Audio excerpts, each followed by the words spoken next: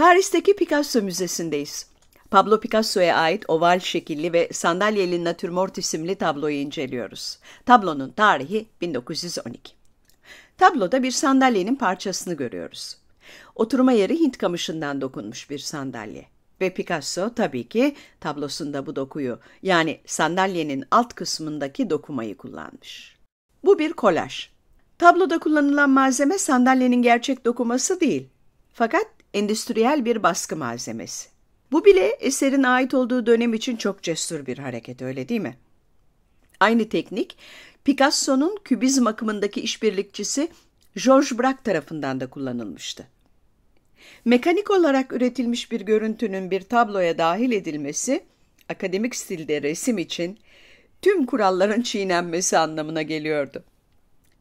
Çünkü 400 ya da 500 yıldır bir resmi iyi yapan şey ve resme saygı gösterilmesinin sebebi ardında yatan virtüözlüktü.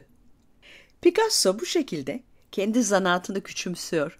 Çünkü resminde hazır baskı görsele yer veriyor. Derinliğin illüzyon olarak yaratılması, Rönesans'tan beri resmin değişmez bir özelliği olmuştur. Ama şu an karşımızda iki boyutlu bir resim var. Arkadaki muşambayı da görebiliyoruz. J, O ve U harfleri dikkatimi çekti. Adeta bir şeyin üzerine yazı yazar gibi. Mesela kağıda yazı yazarız ve kağıt da çok düz bir yüzeydir, değil mi? Ama Picasso'nun burada yaptığı çok daha karmaşık bir şey. Bize açıkça illüzyon sanatı ve alan derinlikleriyle oynadığını söylüyor. Hmm, harflerin bir yüzey üzerinde olduğundan şüphem yok. Ayrıca tuvalin üzerine yazı yazmak derinlik hissini tamamen ortadan kaldırır. Bırak da aynı şeyi yapmıştır. Bence burada Picasso sadece bir değil, iki farklı mesaj veriyor. Düzgün olmayan dikdörtgeni görüyor musunuz? Bunu öbeklenmiş bir gazete olarak düşünebilirsiniz. Gazetenin Fransızcası aynı zamanda günlük anlamına gelen jurnaldir. Günlük bir gazete ya da Wall Street Journal gibi. Fransa'da olduğumuz için bunlar e, Fransızca'da oynamak anlamına gelen jouer kelimesinin harfleri de olabilir. Aslına bakarsanız ben Picasso'nun alanlarla oynadığını düşünüyorum. Bu harfler üzerinde bulundukları gazete ya da dergi gibi basılı medyadan da bağımsız bir şekilde tuvalin üzerinde geziniyorlar. Burada da Picasso'nun yorumuyla bir pipo sapı görüyoruz. Bu beyaz bir pipoya ait. Belki de kilden yapılmıştır. Sapı burada, ucu ise burada. İlginç olansa piponun ucu sapına bağlı değilmiş gibi görünüyor. Yani bir demonte etme veya parçalama durumu söz konusu. Ve bu demonte etme durumunu tabloda resmedilen diğer bütün cisimler için de görmek mümkün. Picasso bildiğiniz gibi cisimleri parçalara ayırmayı sever. Birçok eserinde bu durumla karşılaşıyoruz. Tekrar bu esere dönecek olursak, tablonun adı sandalyeli natürmort olduğu için gözüm diğer natürmort ögeleri arıyor. Belki bir kadeh? Evet. Bu sap, bu kadeh, ha bu da kadehin ayağı.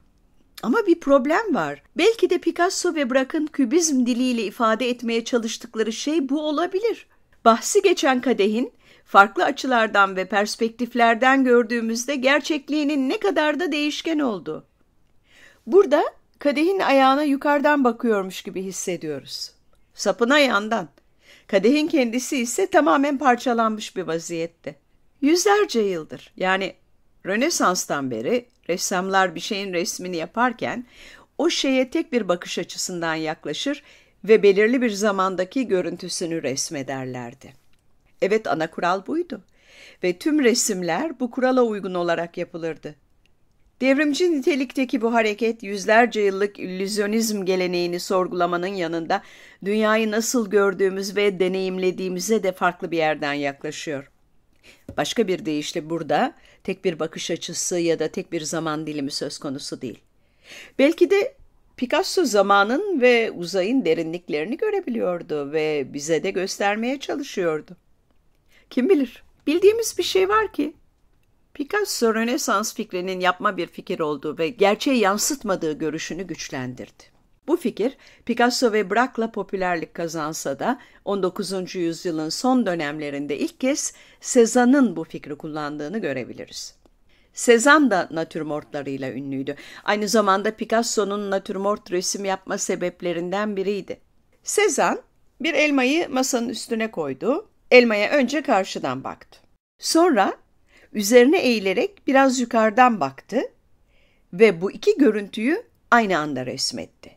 Picasso ile Braque ise bu fikri daha da ileri götürdü ve bir kafe masası üzerindeki cisimlerin toplam görsel deneyimini nasıl resmedebileceklerini sorguladı.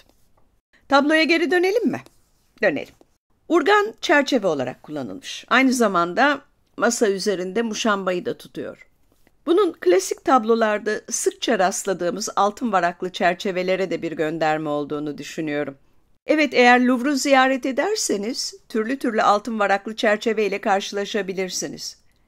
Bu fikir ise endüstriyel, önceden üretilmiş ve isteğe göre uyarlanmamış malzemeler fikriyle bağdaşıyor.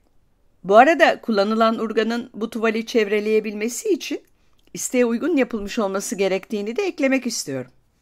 Şurada sağ tarafta bir bıçağın sapı ve bir limon dilimi var. Altında ise buruşturulmuş bir peçete.